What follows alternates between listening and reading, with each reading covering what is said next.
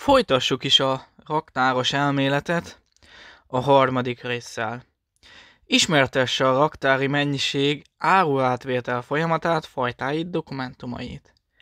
Térjen ki az áruátvételnél tapasztalt mennyiségi eltérések eseteire és azok kezelésére. Kulcsszavak és fogalmak, amik kelleni fognak nekünk. A mennyiségi átvétel előkészítése, személyi és tárgyi feltételei.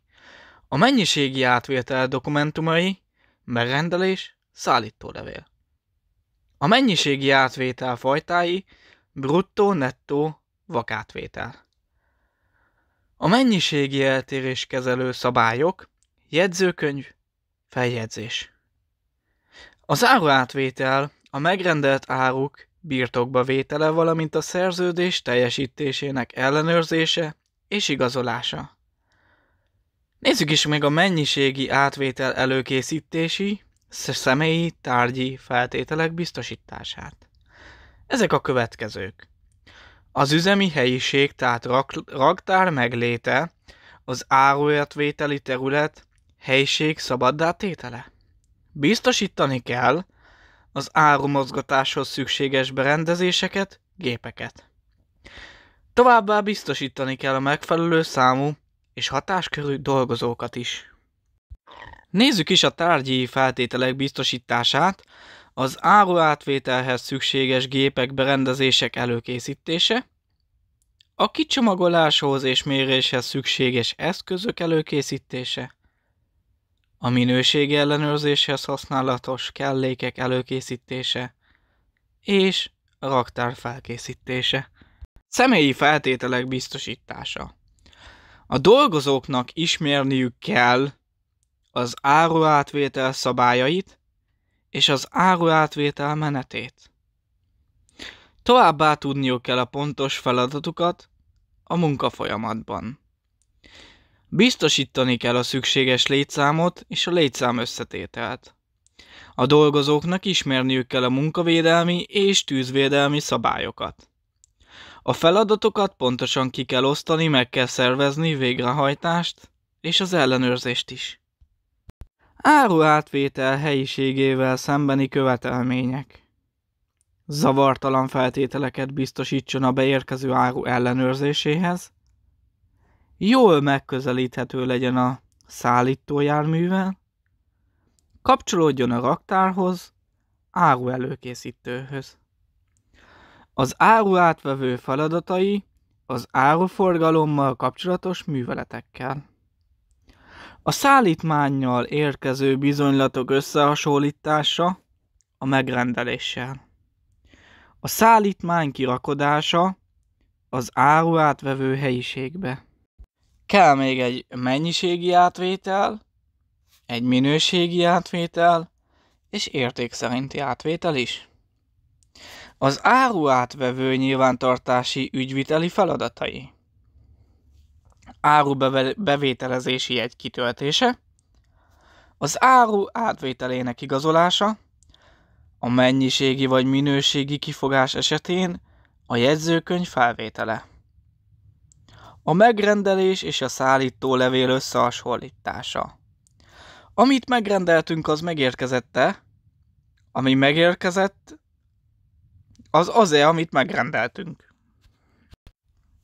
A beérkezett áru kirakodása akkor kezdődhet el, ha a beérkezett áruk megegyeznek a megrendeléssel. Az áru mennyiségi átvétele.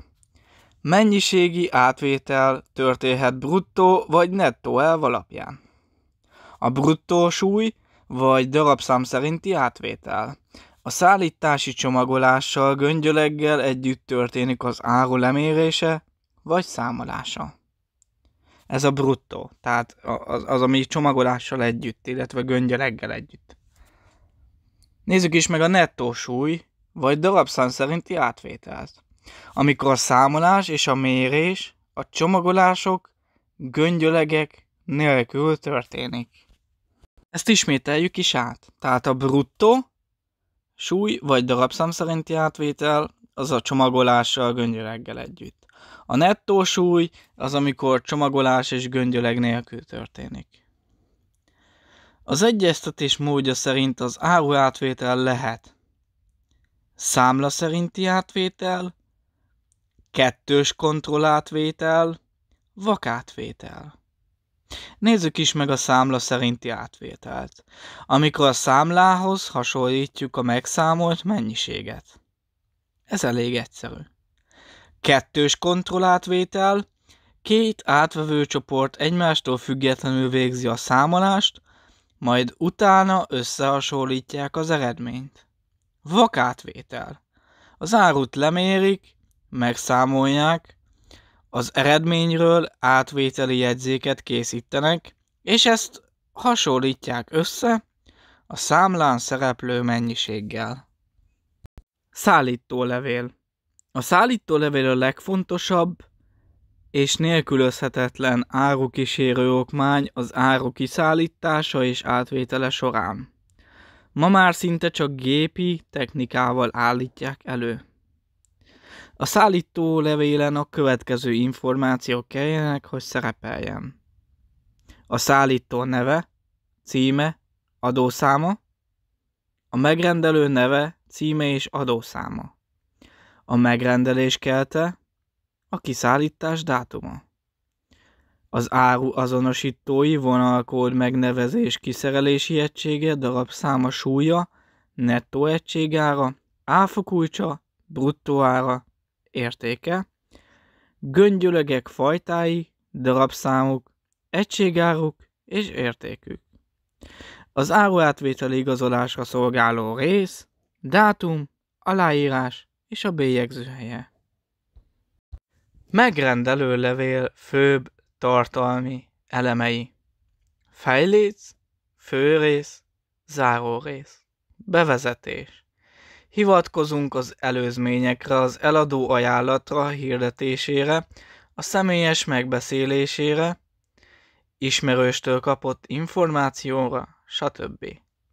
A megrendelt áru pontos megnevezése. Típus, méret, márka, mennyiség. Fizetési feltételek. Közöljük az ellenérték kiegyenlítésének módját, határidejét. Kitérünk az ár pontos nettóár, áfa, illetve bruttóár. Szállítási feltételek. Meghatározzak a szállítás idejét, eszközét, esetleg a részszállítások ütemét. Közöljük az átvétel helyét és módját. Egyéb feltételek. Terméktől függően tartalmazhatja levelünk a csomagolással kapcsolatos kikötést, az ígért garancia vállalást. Befejezés.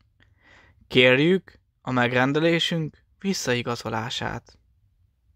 Mennyiségi értérlést kezelő szabályok, jegyzőkönyv és feljegyzés fejezete következik.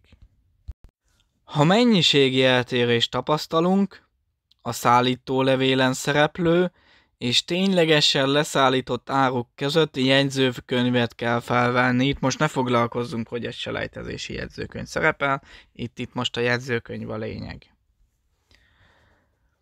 Tehát, ha a mennyiségi eltérést tapasztalunk, a szállító lévén szereplő és ténylegesen leszállított áruk közötti jegyzőkönyvet kell felvenni.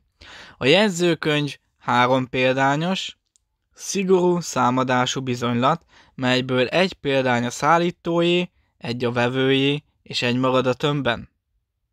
Ugyancsak jegyzőkönyv felvétele szükséges, amikor valamilyen minőségi kifogás esetén tagadjuk meg részben vagy egészben az áru átvételét. A jegyzőkönyv szigorú támadású legalább három példányos bizonylat, melyben az alábbiakban felsorolt tartalmi és formai elemeknek kell szerepelniük. Az áru átvétel során tapasztalt mennyiségi eltérés leírása, vagy az áru átvétel során tapasztalt minőségi kifogás részletes leírása. A jegyzőkönyv készítésének dátuma, a jegyzőkönyv készítésekor jelenlévők felsorolása, a jegyzőkönyv készítésekor jelenlévők aláírása, a szállító megnevezése, illetve a szállító levél száma. Jegyzőkönyvben kérhető a szállítmány kiegészítése, a termék visszáróként való kezelése, árengedményt is kérhetünk, vagy a hibás áru kicserélését, a termék javítását, vagy a vételer visszafizetését. És ez a harmadik fejezet nagyjából ennyi is lenne. Szerintem mindent átbeszéltünk, ami lényeges. Úgyhogy most elköszönnék tőletek. Sziasztok! A további viszontlátásra! További jó tanulást!